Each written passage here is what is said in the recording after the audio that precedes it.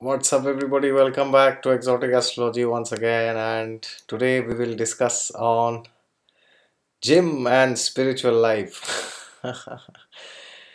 what is the connection between a gym and spiritual life? If you have not subscribed to my channel yet, then subscribe to it. And if you like this video, click the thumbs up and share it with whoever you know or whoever goes to the gym. or whoever is planning to go to the gym. And if you're interested in making some donation for the sustenance of this channel then you can go to paypal. The link is below and do some donation. Or else continue watching this video till the end. All right. What happens at the gym? How many of you have been there or how many of you have not been there? Everybody has been there right at some point in life. Now what happens there is you do things yourself. Am i right? You do not let anybody else do things for you. Which simply means that when you are entering the domain of spiritual knowledge it is like you are entering a gym the guru can tell you like the instructor that you should pick up this in the initial days and then you should increase the dose as you go ahead. All right? You should do some jogging some free hand exercises some warm up and then ultimately you should go for muscle building or whatever. I, I don't have much knowledge so I will not blabber in that area so similarly when we enter the domain of spirituality, it is like entering the gym because the Guru can suggest us, advise us, show us, give us direction of what to do, when to do, how much to do, how much not to do. But at the end of the day, it is you who have to press the button. If you do not press the button, it is not going to happen because you only gain muscles when you pull those dumbbells right? Or whatever is there in the gym available. You do not get muscles by all the time hearing from the instructor. Okay you do this now now you do that. No it doesn't happen like that. Only hearing will not produce any result which means that whenever we are hearing spiritual topics we also have to apply them we have to apply the different principles which are there in these scriptures. But for that you have to know them first. For that you have to hear. At the same time applying them is very important. Otherwise anybody can claim to be spiritual or connected to god etc but if you are not doing things on the ground as always i ask what is there in the ground? Please show me. If there's nothing in the ground that means there's a problem that means that you will very soon leave whatever you are planning to do or you will not do or even if you are doing you will reduce it. For example if you are chanting certain mantras if you are not doing it regularly there is a possibility that you do not do it after some time. Yes just like going to the gym if you stop going one day then next day you feel okay let me not go today also. It is very similar. And there are people who say that okay i tried this i tried that nothing worked. But the question to be asked to them is i personally ask them this question that how much time do you need to develop a figure or a good body when you go to the gym depending on your current situation right? If you have if your body is very much deformed if you are very much overweight then you will need long time to come to shape. If you are not very much overweight, which means to say that you are not obese, but you are just overweight, then you will not need much time. And if you are already in a good shape, then it's just a matter of time you will make it. So similarly, spiritual life is also like that. It is like the situation of a person who has started going to the gym now slowly. That means he has to consistently he or she has to consistently put efforts in the direction of his improvement. Otherwise if he gets discouraged and puts the things down which he is doing as a part of his schedule then there will be no effect. And then you will also be like that person who said that oh i go to the gym but from monday. Because every day comes right? But monday never comes. Or you will become like the person who said i will go to the gym from tomorrow.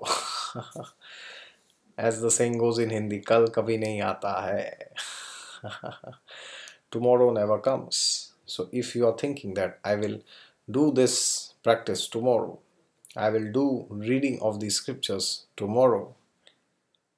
I will visit the holy places tomorrow. I will sing the bhajans tomorrow.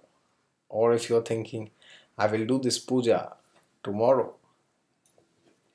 I will meet this guru tomorrow.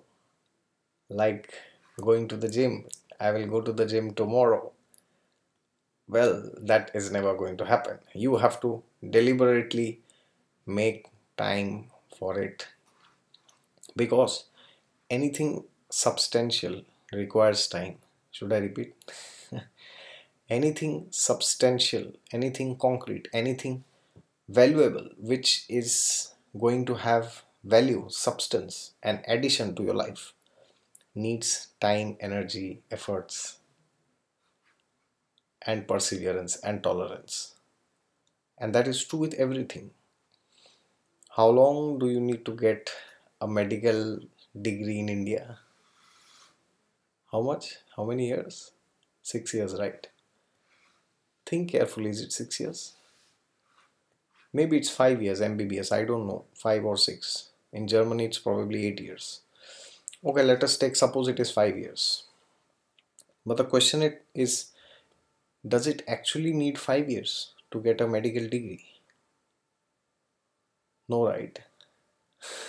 if that would be true, then every baby would start learning medical science and by the time he's the age of five five and a half or six he would have become a doctor he or she but that doesn't happen which means that you need to learn nursery first then kg upper kg then you need to learn first standard. Then up till then you go to the 10th standard. And after that you go to 11th 12th and then you go to bachelor's finally which means you need if you start studying from the age of 3 till the time you get your MBBS degree or doctor's certificate or whatever you call it it is roughly the age of 23 or 24 so you need almost 18 years to get one certificate. Can you imagine? And that too after getting that certificate do you become a doctor of the whole body? No. You just become a general doctor a general physician if i'm not wrong. If i'm wrong somebody can correct me. But if you want specialization you have to do more and then you have to do super specialization if you want to do of the eye then you have to do of the eye only. You cannot be a doctor of the heart and of the eye and of the skin together. It's not possible. Which means that if to study a mundane thing like medicine or engineering, it needs 22 23 years of your life. How come you think that just by chanting a mantra for two months or three months, my life is going to change completely. Well, it is not like that. That is why I have given the analogy of going to the gym. that is why this video is named as Gym and Spirituality. Alright. That is what I wanted to say that the traits of Saturn is very much required because the planet Mars gets exalted in the zodiac sign of Capricorn. That means whenever we talk of Mars, Saturn has to be there. Otherwise, Mars is in trouble because then there is no discipline. And discipline means doing things on a regular basis, irrespective of you like it or you don't. Because emotions, which deal with our likes and dislikes, is the fourth house, opposite of Capricorn, which is Cancer. And 10th house is the house of karma or actions, which means that we are supposed to, ideally, supposed to perform them without liking or disliking them. If you like them, that's great. If you do not like them, don't stop. All right. So, whatever you are doing in your spiritual journey, please make sure you make time for it. Do it every day or once in a week, whatever is your schedule as, or whatever plan you have decided, or whatever your guru has suggested you. But whatever it is, keep doing it continuously, non-stop. If you are reading one shloka from the Bhagavad Gita every day, keep it one, but do that every day. Very simple. One shloka at a time. How many shlokas are there in the Gita? Roughly 700 shlokas, right? 700? Yes, roughly. that that means how, how much time it will need? I don't know, it's 700 or 800 nearby that number maybe around two two and a half years right or maybe three years if you miss one two days in between in your anniversary in your birthday in your exam you'll miss right you are allowed to miss those days. But when the world is back to its place it is better we do it regularly. And then when you do it regularly then you see the effects. Just like a person who goes to the gym and he picks up the dumbbells daily. Oh, well now somebody will comment okay you should not go to the gym daily. You should give time for muscle resting and all. Those are all analogies. I'm not bringing them here. But the point is what i'm trying to make that like you have sincerity in going to the gym it can be one once in a week or twice in a week or some people go every alternate day I'm not talking of the details here. I am talking of the principle of sincerity. Okay, so take that in mind and go ahead in your spiritual journey. You will definitely have great success. Okay, until next time, if you have any questions, queries, or comments, then let me know in the comment section. Until next time, bye bye. See you.